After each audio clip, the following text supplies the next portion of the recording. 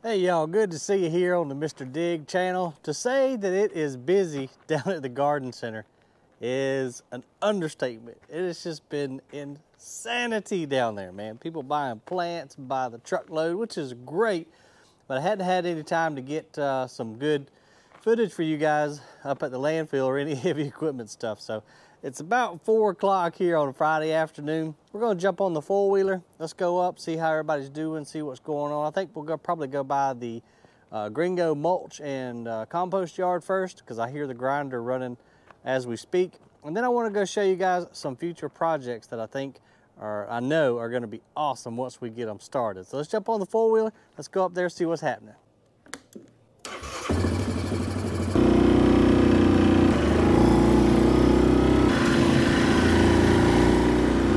It's been super windy. Seems like every time I go to try to film, uh, the wind's blowing 30 miles an hour plus. So got my little microphone on. Hopefully you guys can hear me right now.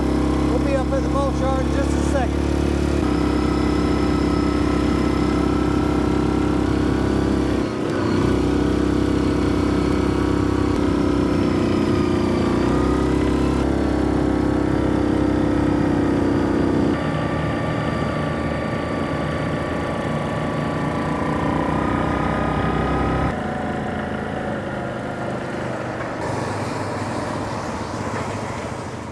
Hopefully y'all, hopefully y'all can hear me. We still got the case rented. Obviously, we went ahead and rented it for uh, another month because we've been so so wide open busy. But they have really done a lot of a lot of grinding, man. I'm gonna have to fly the drone for y'all soon and for my own self just to see how big of a dent we have made in the wood waste. But it's definitely changed up here, and I'm hoping we're gonna have enough wood to make it make it through the season. We're just now in April, and man, I tell you what, they have gone through some wood.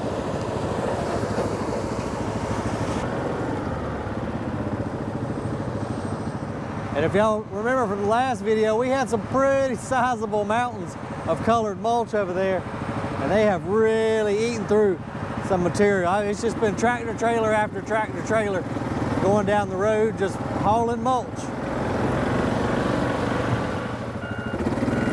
And we got the prototype sitting here. We're not running her today, but man, look at the difference in that little pile of wood versus what it was just uh, two weeks ago. They have really eaten through some material. I am just, uh, I am impressed and, and a little bit scared at the same time, just because we're still so early in the season and wow, they have gone through some wood. Got a nice, big, pretty pile of compost screened up. It's been moving real well along with the topsoil. All, all the things that you know you can attribute to spring and people being out in the yard working, your topsoil, compost, anything to do with, with yards and landscaping. Obviously that stuff, uh, it's, it's the time of year to move that type of material. Let's go over here and uh, get a little bit closer look on the MC266 and see what our, our actual stockpiles of mulch look like.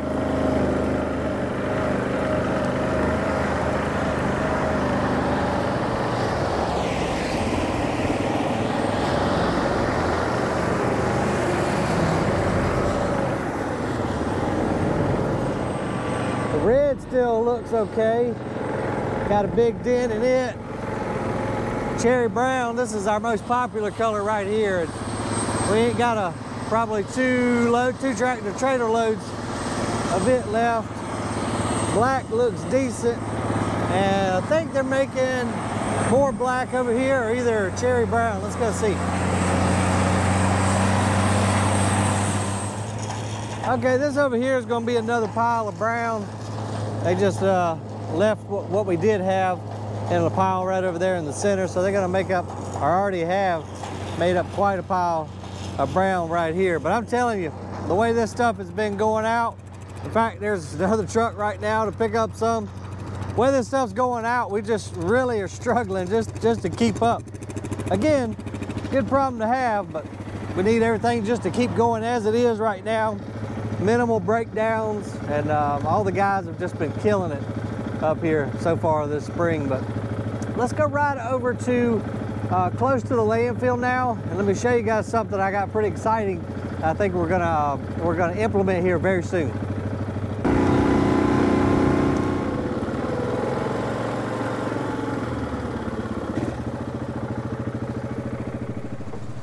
Well, y'all had to jump off the four-wheeler real quick because I saw our buddy Luis over here doing something. I, honestly, I thought you were working on a transmission when I when I came by. But we're going to experiment a little bit. So obviously, we're over here where we make the blocks, and I bought these forms off of an auction a few years back, and so it makes a uh, a bird bath, or is it a fountain? A, well, a fountain or bird? Yeah. I think it's a fountain because that's the top. That's the top tier the bottom tier, mm -hmm. and, and then the base. So you're going to experiment a little bit, huh? Yes, sir. All right. Well, good luck. We'll see how see how it turns out. Maybe we can start selling fountains yeah. next. I, I, I, never I never do this, but I want to try. We yeah. how oh, come on. I want to try it too. You know, also we got that big vibrating table. Oh yeah, it's over, over there. there. Yeah. But we ain't got no power over here. No, not yet. No, we're gonna get some power over here somewhere. I have to run it from the sand plant maybe. Get some power over. I got a big old table that uh, vibrates. So when you pour the concrete into your molds, you can shake it down. All right, well, good luck, sir. We just wanted to stop and say, hey, I was gonna see what, what transmission you was working on. All right, see you later, buddy.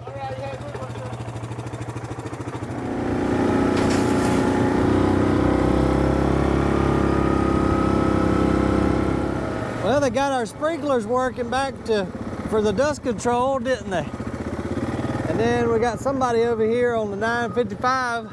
So I guess they got it, got it fixed. For all of you guys who were asking about the 955, I, I honestly don't know what uh, what happened to it when me and Aaron were looking at it the other day, but evidently it wasn't anything too bad. They got it fixed up and man, they done sold that whole big old Y'all remember that big old uh, pile of topsoil that Aaron had up here just a few days ago? It's already gone and we're having, having to make more. Such as spring.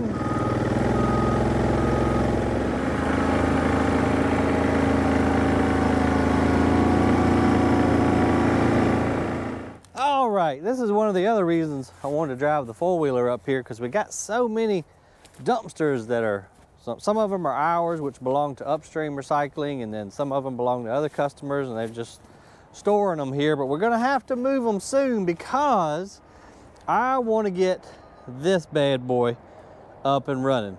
So this is a sorting line.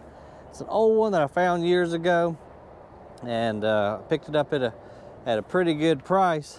But what happens is we can take waste that needs to be recycled dump it on the conveyor down there, and then we can hire folks to stand at each one of these uh, sorting stations and pull out, you know, whatever, whatever we're after, whether it be wood, plastic, cardboard, what have you. And they can sort it. They then drop it down these bins and it'll go to wherever it needs to go to. So I went ahead um, a few years back and poured a concrete pad just to set it up here and at least make an attempt to get, get started with recycling. But something really cool has happened lately. I've got some companies that are now interested in recycling their C&D material. We do it on a very small scale uh, in the landfill for folks that are, are doing uh, LEED, leaders in energy efficiency design.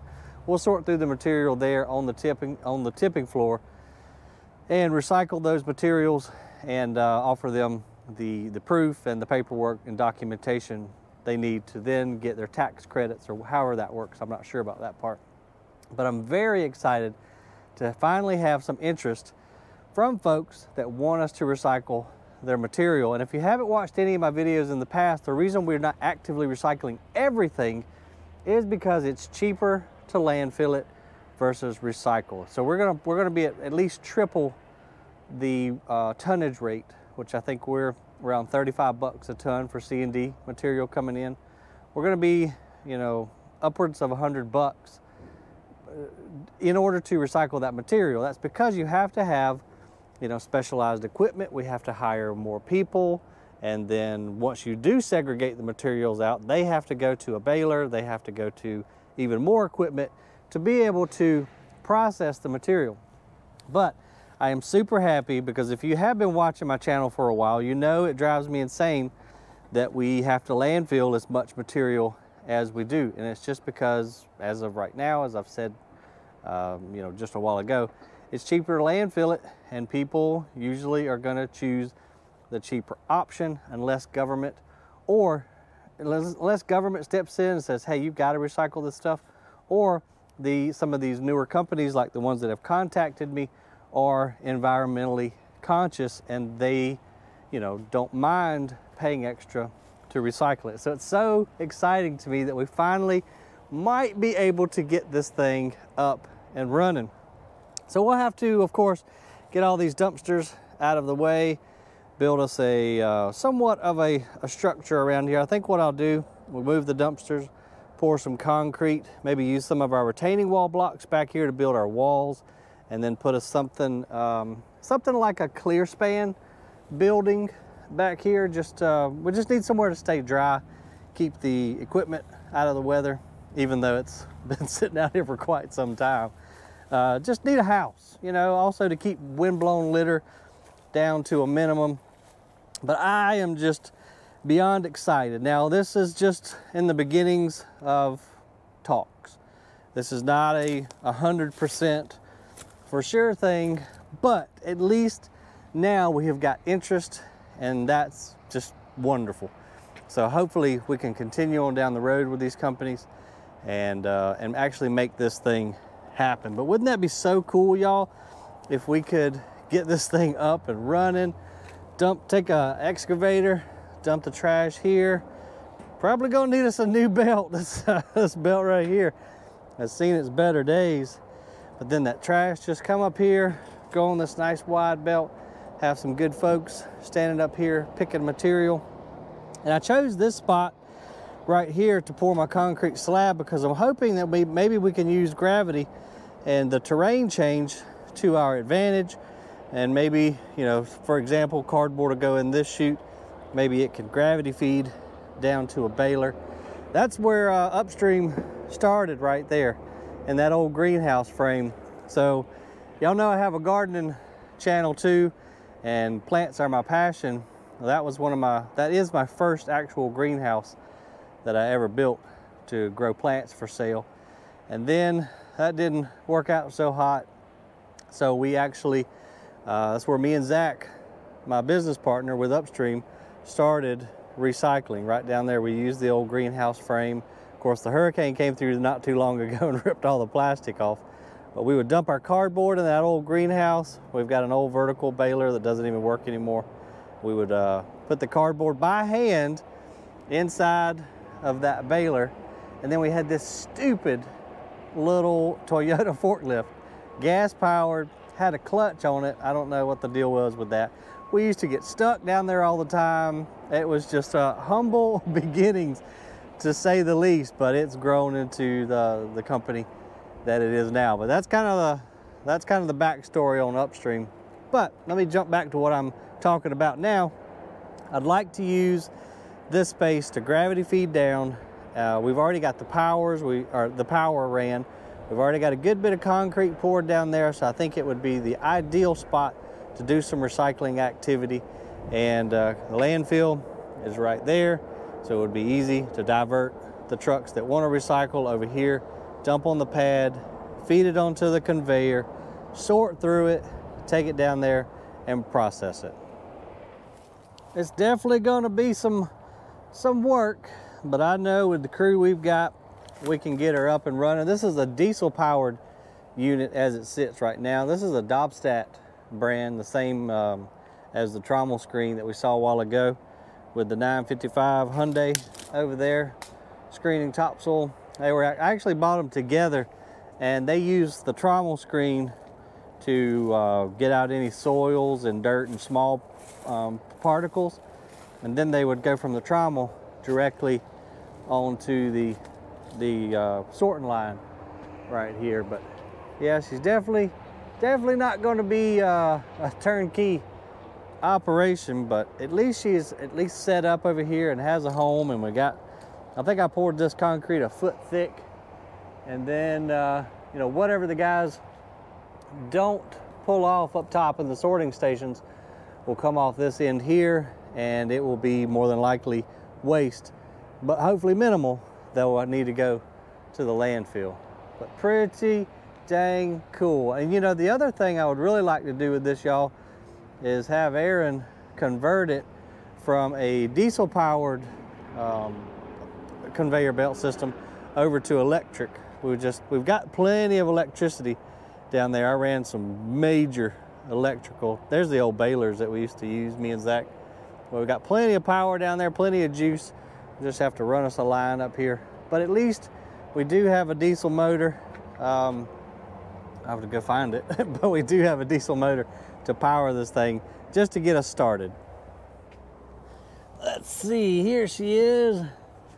Nothing major, just a little small diesel engine. All it does is just run a conveyor belt. So we can probably get her back up into purring and at least get this thing started and at least begin the recycling and make sure that it's going to work and that uh, both parties are, you know, us and the companies, make sure it's working for both both uh, teams before we make a super large investment to, uh, you know, convert it over to electric to build a big building and that type stuff. So at least we have got a, um, a starting. And uh, I think that if done right, then maybe this could grow into, uh, you know, us being maybe a flagship C&D landfill of the Southeast uh, to, to really promote recycling, get more people on board. But it ain't, it ain't gonna be easy. But if it was, you know what? Everybody would be doing it. But man, this just uh, made my day when I talked to those companies here and uh, the amount of interest that they have. I think this really could be a cool starting point for us. But appreciate you guys watching. It's almost quitting time. I'm parched. I'm gonna go check on dad, get me a cold beer. Thank you guys so much for watching. Appreciate all your comments, man. It, it really means the world to me. Y'all checking on Pop and just saying hey to me, telling me where you're from, what you want to see, all that good stuff. I love to get your comments. So drop me some below, hit that thumbs up for me, subscribe if you haven't already. I'll see you on the next video.